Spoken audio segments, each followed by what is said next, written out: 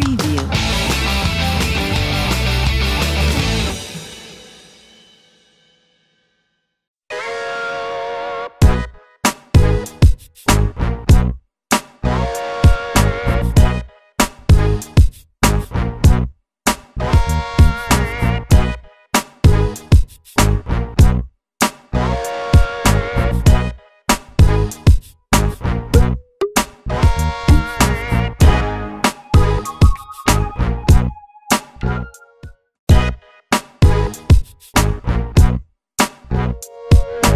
Le mouvement des, Gilets jaunes, je crois que quand il a commencé à démarrer, enfin personne, enfin il faut être objectif, hein, euh, personne ne l'a vu venir. Personne n'a vu venir que l'ampleur euh, que ça allait prendre.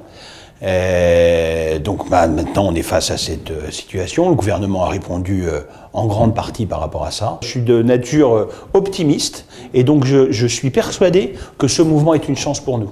Parce que ça nous permet, euh, il y avait beaucoup de non-dits, beaucoup de frustrations que moi j'ai vu sur le terrain hein, depuis 18 mois. Euh, quand on est à l'écoute des gens, il y, avait toujours quelque chose. Et donc ce mouvement, ça a permis de, faire sortir les choses, de se dire les choses dans ces cahiers de doléances, ces réunions, etc. Et donc je suis persuadé que de ce mouvement-là, on peut en faire quelque chose euh, de positif. Par rapport au RIC, moi j'en ai déjà discuté avec, euh, euh, les Gilets jaunes, enfin certains des Gilets jaunes. Moi, à titre personnel, j'y suis opposé.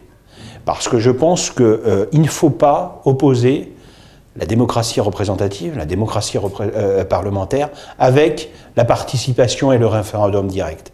Et le RIC tel qu'il est présenté actuellement, c'est véritablement ça. C'est-à-dire que, euh, en réalité, on pourrait euh, euh, démettre un élu tout de suite, ou il y a une loi qui est votée par le Parlement, on pourrait déclencher un référendum qui abroge la loi, etc. Je pense qu'on est dans une logique où on, où on oppose démocratie directe et démocratie parlementaire. Au contraire, ce qu'il faut, c'est conserver notre démocratie parlementaire. C'est ce qui existe depuis euh, euh, 200 ans, euh, qui, est- le fondement et qui, donne de la stabilité euh, à nos institutions et au gouvernement. Mais par contre, il faut qu'on invente de nouvelles formes. Alors, euh, c'est peut-être pas le risque, mais c'est autre chose, pour que les citoyens puissent participer à la décision publique. Donc euh, c'est sans doute, moi je suis sûr que dans les, les, différentes euh, réunions que je vais faire sur le territoire, en échangeant avec les gens, euh, il y a sans doute des, idées qui vont émerger. Est-ce qu'il faut se servir de l'Internet des, euh, des, sites de participation citoyenne qui sont... en tout cas, il, faut qu'on réfléchisse, il faut qu'on trouve un moyen pour que dans la décision publique, mais ça c'est vrai au niveau national, mais aussi au niveau local, il faut absolument qu'au niveau local, par exemple, si euh, euh, un maire décide euh, d'implanter, enfin, du- du- d'un grand investissement, etc., il faut absolument que la population participe aussi, que ce ne soit pas uniquement la décision du maire tout seul, de manière autocratique, qui décide du jour au lendemain, bah, je ne sais pas moi, d'implanter une grande surface en centre-ville ou de, ou de faire autre chose. Il faut absolument qu'il y ait cette participation citoyenne. Il faut qu'il y ait euh, euh, au niveau local, parce que c'est ce, qui, euh, ce qui touche la vie des gens, mais il faut qu'au niveau local, la démocratie soit vivante et qu'il y ait... alors c'est prévu par la loi, hein, mais c'est jamais fait. Il faut le faire sur des choses extrêmement concrètes. Le problème, c'est que si on pose une question qui est beaucoup trop technique, moi par exemple, une question qui, concerne la fiscalité ou que- quelque chose qui est extrêmement technique. Mais euh, euh, la plupart des gens, et, et moi le premier, moi je suis pas sur tous les dossiers, il y a certaines questions qui demandent une technicité qui font que bah, c'est pas ce type de questions-là qu'il faut poser aux gens. Je prends contact avec les maires pour organiser ça avec les maires. Euh, quelle forme ça va prendre exactement En fait, je ne sais pas. Euh, moi, ce que je veux, c'est être, ce que je fais depuis 18 mois, hein, c'est d'être le maximum à l'écoute des préoccupations des gens.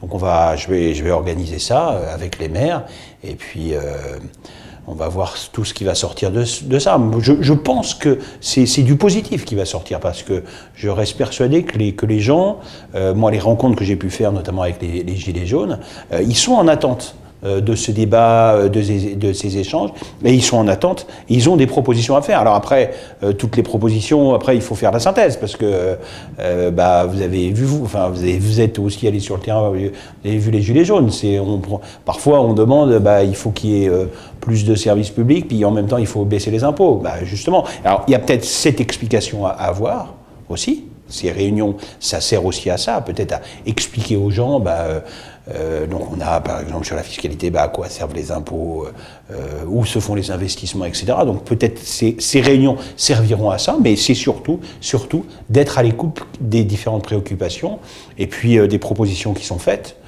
L'autre chose que moi j'ai fait, c'est que j'ai ouvert à ma permanence un cahier de doléances.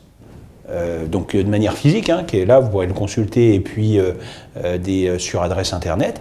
Et il y a beaucoup de gens qui euh, viennent, euh, qui passent dans la journée, et euh, on, commence à en recueillir pas mal, avec des idées qui sont bah, ou originales, ou en tout cas qui, pourraient, qui, peuvent demander, en, étant expertisés, bah, qui peuvent déboucher sur quelque chose. Je suis persuadé, et notamment quand on regarde ce qui s'est passé, les débats où c'est le président qui est allé hein, à la rencontre, ou des, des maires comme des, des, citoyens, dans ce qu'il a fait là à euh, Bourg-Péage, je crois. Hein, voilà. Euh, au contraire, je pense que les gens sont dans l'attente de ça et sont dans l'attente de ce débat. En tant que bah, euh, homme politique depuis, depuis 18 mois, moi je pense que la chose essentielle, l'analyse, moi ce que je fais de la situation, mais la chose essentielle, c'est qu'il faut qu'on poursuive les réformes. aujourd'hui, ce qu'on paie aujourd'hui, c'est l'absence de réformes d'un certain nombre de, de, de, euh, de notre administration de notre, de notre économie qu'on n'a pas fait euh, depuis 20 ou 30 ans, alors que l'ensemble de nos partenaires euh, européens, enfin, à, proximité, les, les, avaient fait. Nous, on ne les a pas fait, parce que peut-être par... Bah, par peur du changement ou par peur de la réaction des, Français, on ne l'avait pas fait. Et en fait, on, on a payé le prix double. C'est-à-dire que euh, on a dû augmenter les impôts et euh, nos services publics se sont dégradés. Parce qu'on ne les a pas réformés. Et donc, la meilleure réponse par rapport à ça, ça, il faut l'expliquer aux Français, etc., mais il faut poursuivre les réformes. Il faut absolument qu'on poursuive les réformes. Il n'y a pas de réforme à voter en priorité, il faut toutes les conduire. En tout cas, il y, a, une feuille de route ou des, réformes qui sont annoncées euh, pour cette année, extrêmement importantes. La réforme de la fonction publique, la réforme de l'assurance chômage, on le sait. Hein. Moi, je le vois sur le, terrain. Hein. Euh, l'ensemble des, syndicats, euh, des entreprises, des représentants d'entreprises, ils vous disent du boulot, il y en a mais, on reste avec un chômage qui est extrêmement élevé. Parce qu'il y a ce problème de la correspondance entre l'offre et la demande. Et là, notre système d'indemnisation du chômage doit être renouvelé pour euh, inciter les gens qui sont en recherche d'emploi à revenir de manière beaucoup plus active. Alors, en euh, les aidant à la formation, mais en les aidant de manière beaucoup plus active à euh, à retrouver un emploi. Par rapport à ce sondage donc, du CEVIPOF hein, qui, place en tête donc, dans l'appréciation des élus ce, ce, dégoût qu'ont les Français euh, majoritairement vis-à-vis de leurs élus nationaux, euh, bah, d'abord, moi, ça m'attriste. Euh, moi, je suis au service des Français depuis 18 mois. je ne compte pas mes heures, mes journées, et puis même sacrifier partie de ma vie professionnelle donc euh, ça, m'attriste et puis surtout, et puis, mais quelque part ça me surprend aussi parce que euh, moi c'est pas du tout ce que je ressens sur le terrain, pas du tout. Euh, il y a de la colère. je suis allé à la rencontre de certains gilets jaunes. J'ai vu cette colère qui s'exprimait, cette détresse dans laquelle sont les gens. Mais quand on discute avec eux, alors il y a ce moment de colère, et puis après très rapidement, il y a des échanges qui se font, et les gens sont, nous sont redevables du fait qu'on vienne sur le terrain et on vienne échanger avec eux, etc. etc. Et puis même, moi quand je, me, quand je suis à Chalon, je suis dans des cafés ou je vais sur le marché le dimanche, les gens sont pas du tout dans... Alors il peut y avoir des échanges qui sont un peu vifs, mais il n'y a pas cette forme de mépris ou de dégoût. Au contraire, et même souvent, il y a beaucoup de bienveillance. Il y a beaucoup de gens qui disent bon bah ça doit être dur en ce moment, euh, euh, on compte sur vous, etc., etc., etc.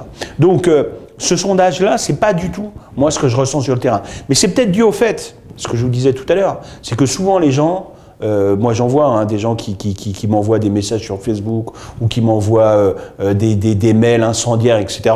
Et puis en réalité, après, je les crois, je leur discute, et puis bah, tout de suite, il y a une autre relation qui se crée et c'est plus du tout, ils sont plus du tout dans la même agressivité, etc.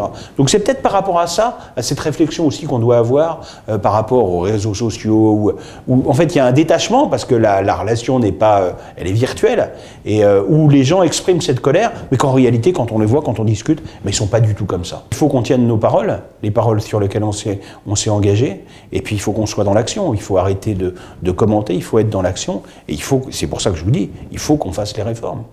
Euh, on s'est engagé, enfin le président s'est engagé, mais euh, les, députés, les candidats qui étaient derrière lui, à un certain nombre de réformes structurantes extrêmement importantes. Ces réformes-là, il faut qu'on les conduise, il faut qu'on les fasse, en les expliquant. Ça va être difficile, c'est toujours difficile. Changer les habitudes, euh, changer les choses, c'est toujours difficile. C'est toujours plus facile euh, de laisser les choses en état, euh, de, de, de, faire plaisir à tout le monde et de rien faire. Mais le problème, c'est qu'au bout d'un moment, eh ben, on en paye les prix. Le prix, eh ben, c'est ce qui se passe aujourd'hui. Aujourd'hui, on en paye le prix. Et donc, pour éviter ça, pour répondre à ça, ce qu'il faut, c'est qu'on soit dans l'action.